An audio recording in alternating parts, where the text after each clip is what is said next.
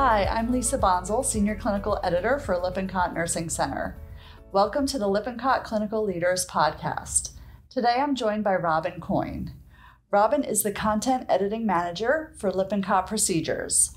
Her background includes working as the Neurology Consult Nurse Practitioner for Penn Presbyterian Medical Center, as well as working as a research assistant, supporting students as a teaching assistant for advanced physiology classes, and lab faculty for physical assessment courses.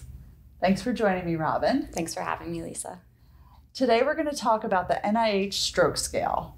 So let's start with what is the NIH stroke scale?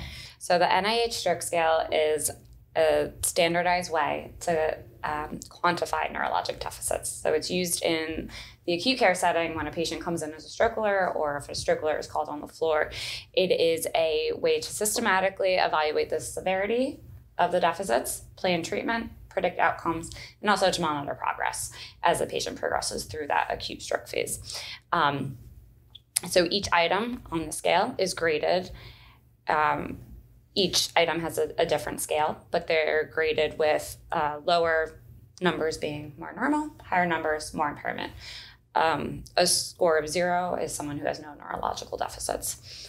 Um, and we use the NIH stroke scale to determine, like I said, eligibility for thrombolytic administration, so um, TPA, uh, or endovascular treatment, and then uh, in post administration monitoring. So that can be done by nurses, providers, practitioners, um, kind of depending on what on your facilities policies, who does that monitoring after administration.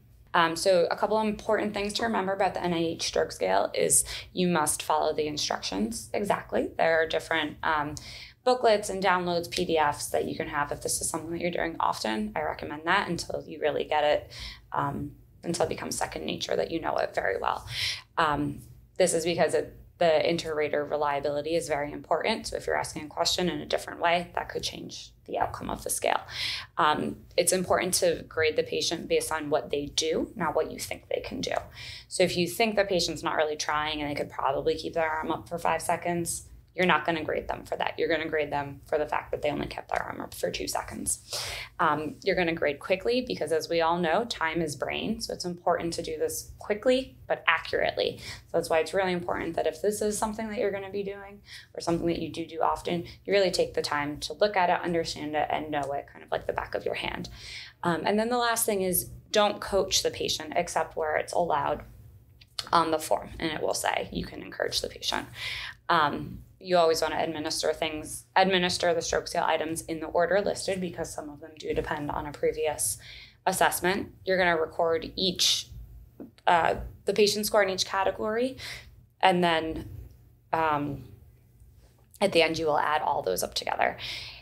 Never go back and change a score, even if the patient does do something later on without you asking. They didn't do it when you asked them the question, so don't go back and change it and follow the directions provided for each exam technique. Again, like I said, scores should reflect what the patient does. Record the answers while you're administering it. It's a lot to remember, so make sure you're writing it down. It'll make it much easier to add things up in the end, I promise.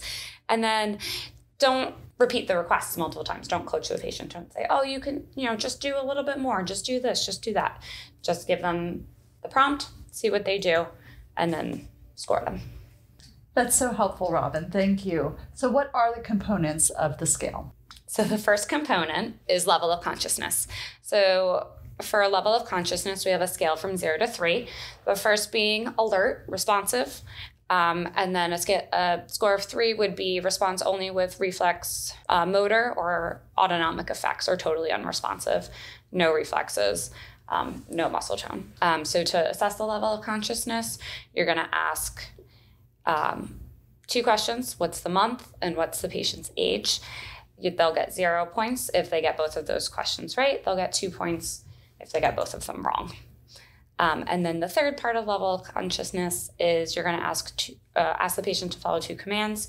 First one being open and close your eyes. The second one is to grip and release a hand. Um, if they have weakness in one hand or have a hemiparesis, you will ask them to do the non paretic hand. And that again is zero to two. Zero meaning that they do both commands correctly, two meaning that they do neither one. Um, section number two is gaze. So we're going to be assessing horizontal eye movements only. So zero would be normal eye movement, normal gaze. Uh, and one would be a partial gaze part palsy. Two points would be a forced deviation or total gaze paresis that is not overcome um, by the oculocephalic maneuver. The third section is visual fields. So you're going to test um, either finger counting or confrontation in your uppers and lowers. Uh, and that is on a scale of zero to three. So, zero being normal visual fields, no field loss. And then a three would be a bilateral hemianopia, um, which would be blindness or cortical blindness. Number four is your facial, facial palsy. So, uh, facial weakness, facial drooping. So, zero is normal, symmetric. One would be minor paralysis. Um, so that is just some flattening of the nasolabial fold or asymmetry on smiling. Two is partial paralysis, so a total paralysis of the lower face. And then three is um, complete paralysis, so that extends up into the forehead. They're going to lose these wrinkles um, in their forehead if they have weakness up there. Uh, then we move on to the motor motor scale. So first we have um, arms. You're going to have the patient hold each arm up. They're going to test it separately for the right and left arm. Hold it up, uh, and ask them to hold it up for a full 10 seconds. You can count out loud. Um, and then, depending on how long they're able to hold it up, you're going to grade it from zero, which is no drift, they're able to hold it there, to four, which is they're not able to hold that arm up at all.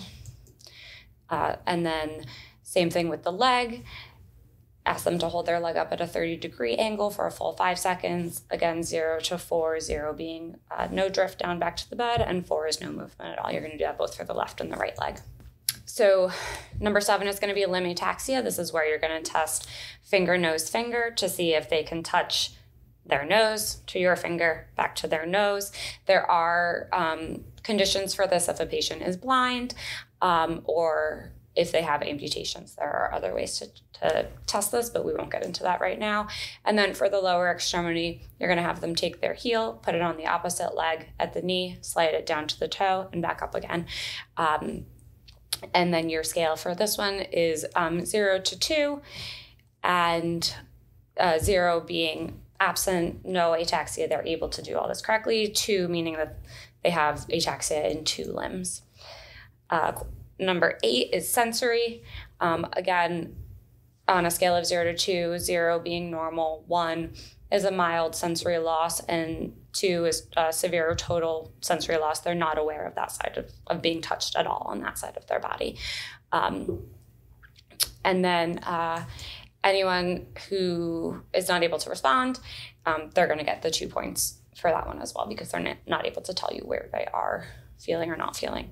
Um, the next section is language. So that is a zero to three scale. And uh, a zero would be no aphasia, normal fluency, normal receptiveness, uh, reception.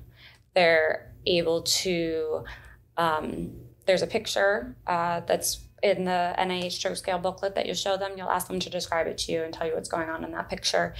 And then uh, you'll give them a picture of some items for them to name. If they're able to name that, um, then the, you'll know that there's no aphasia. You'll also be able to you will also ask them to read a list of sentence uh, read a sentence tell you what that sentence means. Again this one's on a scale of zero to three three being mute and globally aphasic they cannot speak or and they don't have any auditory comprehension. Um, and a, a score of zero would be no aphasia.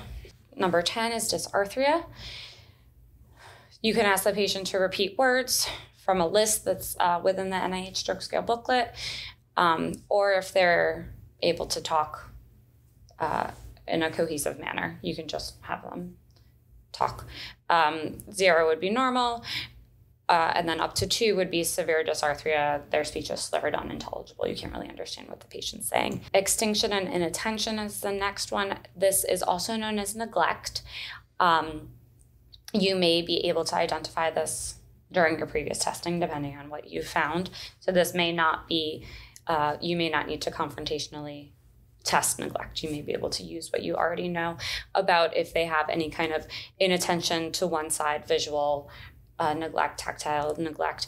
Um, so zero would be no abnormality, and then a two would be uh, inattention to one side or extinction to more than one modality. So they're not um, recognizing things on that side of their body. They might not even recognize their arm or their leg, um, or they are orienting only to, to one side of their body. Robin, thank you so much for breaking down the NIH scale for us. Anytime, Lisa.